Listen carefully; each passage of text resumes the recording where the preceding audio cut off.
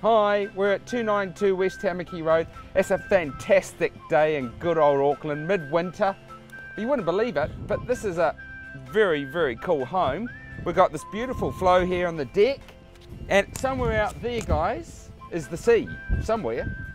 So I know you can't see it very well, so you better come to the open home and you can see what this house has to offer you. While Steve's outside braving the elements, I'm all tucked up snugly warm in here. I've got the gas heating on. There's a DVS system here, so I'm all toasty and warm. Now I suppose I better let Steve inside. It's probably a bit windy out there.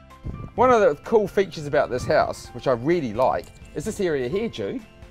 Because when it's a nice day, I can be cooking on the barbecue or sitting here having a coffee in the morning, maybe having a glass of wine at night, while taking in, again, that, that view.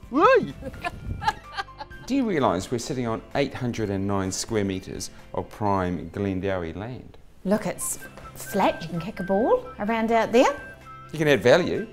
I mean, it's currently three bedroom, plus you've got a study, but that could be a fourth bedroom if you've got a big family.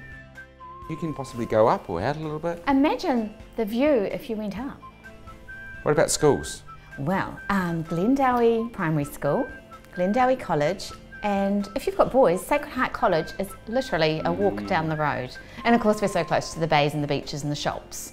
So, should we run some open homes, Jude? I think we should. When? So we could do by appointment, just call Steve or myself, or Saturday, Sunday. 3 to 3.30? Sounds good to you? Absolutely. And um, I'll just go sit another place at the table because you won't want to leave once you're done.